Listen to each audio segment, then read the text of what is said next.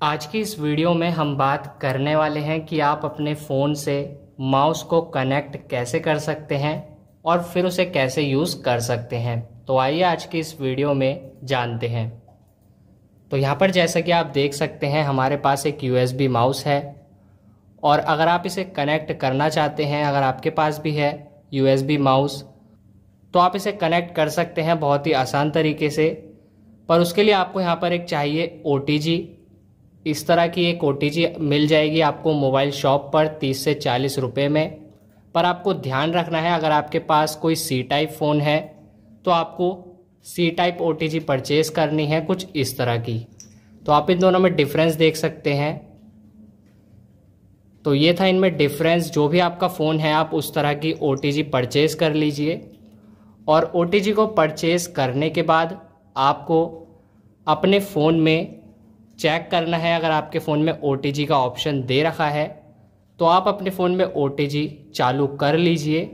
अगर आपके पास कोई वीवो ओप्पो रियलमी का फ़ोन है तो आपको ओटीजी चालू करनी पड़ेगी। अगर आपके पास कोई एम आई सैमसंग का फ़ोन है तो आपको उसमें ऑलरेडी ओटीजी ऑन मिल जाती है। तो यहाँ पर हमारे पास एक वीवो का फ़ोन है तो इसमें हम सेटिंग्स को ओपन करके ओटीजी को ऑन कर लेते हैं। अगर आपको यहाँ पर नहीं मिलता है ऑप्शन तो आप अपने फ़ोन में मोर सेटिंग्स या फिर एडिशनल सेटिंग्स में जाकर चेक कर सकते हैं, आपको मिल जाएगा ओटीजी कनेक्शन के नाम से। तो ओटीजी पर हम टच कर लेते हैं, उसके बाद इसे ऑन कर लेते हैं इस तरह से। अब यहाँ पर आपने जो भी OTG परचेज़ की है, उसे अपने फ़ोन में लगा दीजिए। जिस पोर्ट से आप चार्जिंग करते हैं, आपको उसी में ये लगा देनी है इस तरह से। तो जैसा कि आप देख सकते हैं, हमने लगा दिया है। तो अब आपको ओटीजी में अपने यूएसबी माउस की जो यूएसबी होती है, यानी कि इसे आपको इसमें कनेक्ट करना है, यानी कि इसमें लगा दीजिए इस तरह से।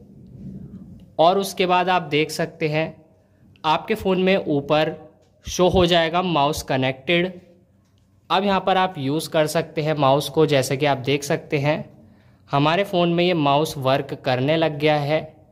हम इसे आसानी से यूज़ कर सकते हैं जहाँ पर हम इसे टच करेंगे। ये उस हिसाब से चलने लग जाएगा। तो इस तरह से आप अपने फ़ोन से माउस को कनेक्ट कर सकते हैं। अगर ये वीडियो पसंद आई तो वीडियो को लाइक करें और चैनल को सब्सक्राइब ज़रूर करें।